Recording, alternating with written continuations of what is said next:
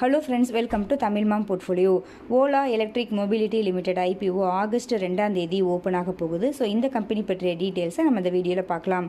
Ola electric scooter வந்து எல்லாருக்குமே தெரிஞ்சுக்கிறதுக்கு சான்சஸ் இருக்குது பெங்களூர் பேஸ்டு கம்பெனி தான். ஸோ இந்த கம்பெனி பார்த்திங்கன்னா ஐபிஓ ப்ரைஸாக எழுபத்தி ஆறு ரூபாய் ஃபிக்ஸ் பண்ணியிருக்காங்க.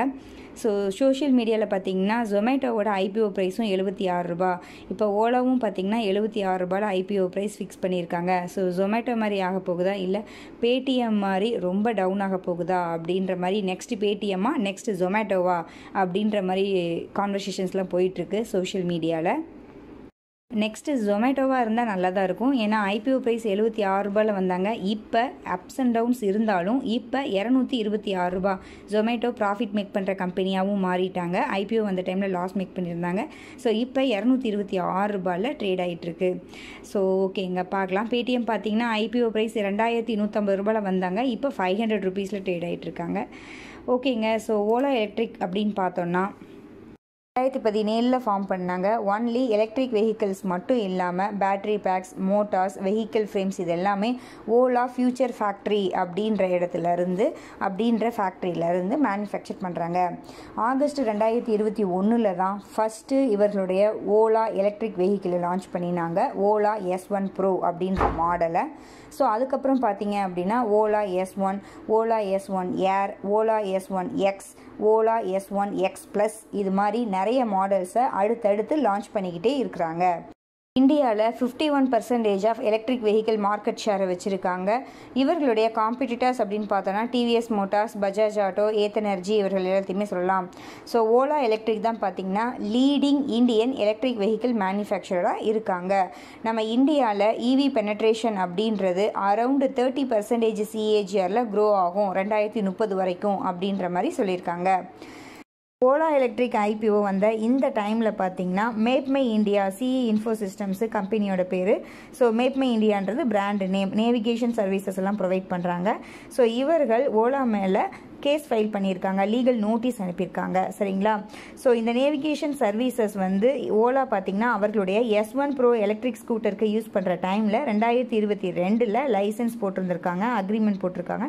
இப்போ அந்த அக்ரிமெண்ட்டை ப்ரீச் பண்ணிட்டதாக வந்து நோட்டீஸ் அனுப்பியிருக்காங்க மேப்மை இந்தியா அதற்கு ஓலாவோட ஸ்போக்ஸ் பர்சன் என்ன சொல்லியிருக்காங்கன்னா இந்த அலிகேஷன்ஸ் எல்லாமே ஃபால்ஸ் ஆனது மிஸ்லீட் பண்ணுற மாதிரி இருக்குது குயிக்காகவே இந்த நோட்டீஸ்க்கு ரெஸ்பாண்ட் பண்ணுவோம் அப்படின்ற மாதிரி ஓலா எலக்ட்ரிக்கோட ஸ்போக்ஸ் பர்சன் சொல்லியிருக்காங்க ஸோ மேப்பை இந்தியாவும் பார்த்தீங்கன்னா ரொம்ப சின்ன கம்பெனிலாம் கிடையாது. ரொம்ப பெரிய கம்பெனி தான். நியூ டெல்லியில் வந்து இவர்களுடைய ஹெட் ஆஃபீஸ் இருக்குது ரீஜனல் ஆஃபீஸ் பெங்களூர்லேயும் மும்பையிலையும் இருக்குது ஸோ இவர்களும் ரொம்ப பெரிய கம்பெனி தான். இவர்கள் பொய்யான நோட்டீஸ் அனுப்புறதுக்கும் வாய்ப்புகள் கம்மி தான். இல்லைன்னா இவர்களுடைய குட்வில் போயிடும்.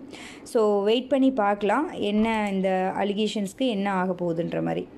ஸோ ஓகேங்க நெக்ஸ்ட் ஃபைனான்ஷியல்ஸ் அப்படின்னு பார்த்தோன்னா ரெவன்யூ பொறுத்த வரைக்கும் செம்ம க்ரோத் சூப்பரான க்ரோத்தில் தான் இருக்குது பட் இன்னமுமே ப்ராஃபிட் மேக் பண்ணல. ரெண்டாயிரத்தி இருபத்தி நாலில் ஆயிரத்தி ஐநூற்றி எண்பத்தி நாலு கோடி லாஸில் இருக்காங்க. கடன் அப்படின்னு பார்த்தோன்னா ஒரு ஒரு வருஷமே இன்க்ரீஸ் ஆகிட்டே தான் இருக்குது ரெண்டாயிரத்தி முந்நூற்றி எண்பத்தொம்போது கோடி கடன் வச்சுருக்காங்க. இந்த ஐபிஓ அமௌண்ட்டில் கொஞ்சம் வந்து டெப்ட் ரீபே பண்ணுறதுக்கும் ஆர்என்டிக்காகவும் யூஸ் பண்ண போகிறதா சொல்லியிருக்காங்க. ஸோ ஓகேங்க ரிட்டர்ன் ஆன் ஒர்த்தும் லாஸ் தான் ஏர்னிங் பர் ஷேர் லாஸ் தான். பிஇ மல்டிபிள் கால்குலேட் பண்ண முடியாது. டெப்ட் டு ஈக்விட்டி டூ பக்கம் இருக்குது ஸோ ஆர்என்டிக்காக ரொம்ப செலவு பண்ணுறாங்க இப்போ தான் ஸ்டார்டிங் ஸ்டேஜில் இருக்காங்க அப்படின்றனால ப்ராஃபிட் மேக் பண்ண முடியலை. ஸோ இன்வெஸ்ட்மெண்ட் கண்டிப்பாக பண்ணி தான் ஆகணும். இந்த செக்டாரில் நிலச்சி நிற்கணும் அப்படின்னா. ஓகேங்க நெக்ஸ்ட் ஐபிஓ டீட்டெயில்ஸ் பார்க்கலாம். ஐபிஓ ஓப்பன் ஆகிறது ஆகஸ்ட் ரெண்டாம் தேதி க்ளோஸ் ஆகிறது ஆகஸ்ட் ஆறாம் தேதி. ஃபேஸ் வேல்யூ பத்து ரூபாய் ஐபிஓ அப்பர் பிரைஸ் பேன் எழுபத்தி ஆறு ரூபாய்.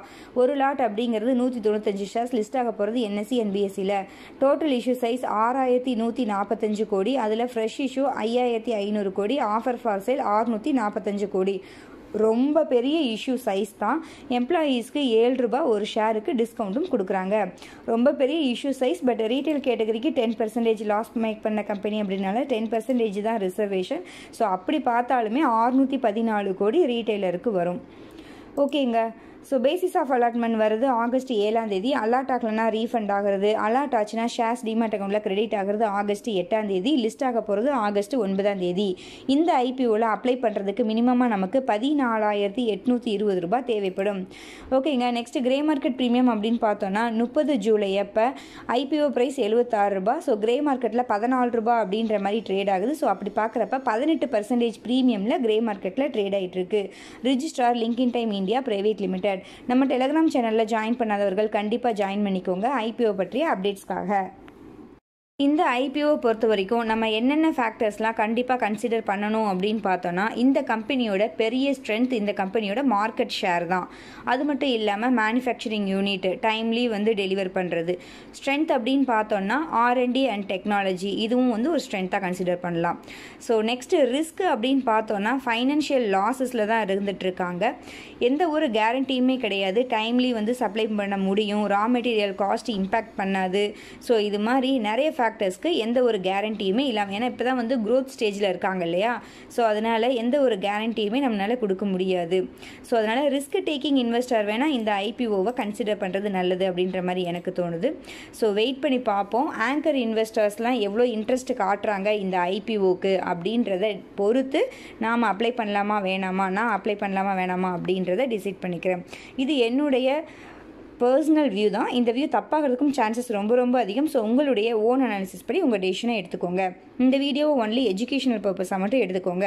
நம்ம வீடியோஸ் உங்களுக்கு யூஸ்ஃபுல்லாக இருந்துச்சு அப்படின்னா லைக் பண்ணுங்கள் கமெண்ட் பண்ணுங்கள் உங்கள் ஃப்ரெண்ட்ஸ்க்கு ஷேர் பண்ணுங்கள் நம்ம சேனலை சப்ஸ்கிரைப் பண்ணுங்கள் நம்மளுடைய டெலிகிராம் சேனல்லையும் ஜாயின் பண்ணிக்கோங்க. நீங்கள் டிமேட் அக்கௌண்ட் ஓப்பன் பண்ணணும் அப்படின்னா நம்ம சேனலோட வீடியோஸில் டிஸ்கிரிப்ஷன் பாக்ஸில் ஏஞ்சல் ஒன் அண்ட் ஜீரோதோட லிங்க் இருக்கும். அந்த லிங்க்கை யூஸ் பண்ணி நீங்கள் டிமேட் அக்கௌண்ட் ஓப்பன் பண்ணிக்கோங்க. நன்றி வணக்கம்.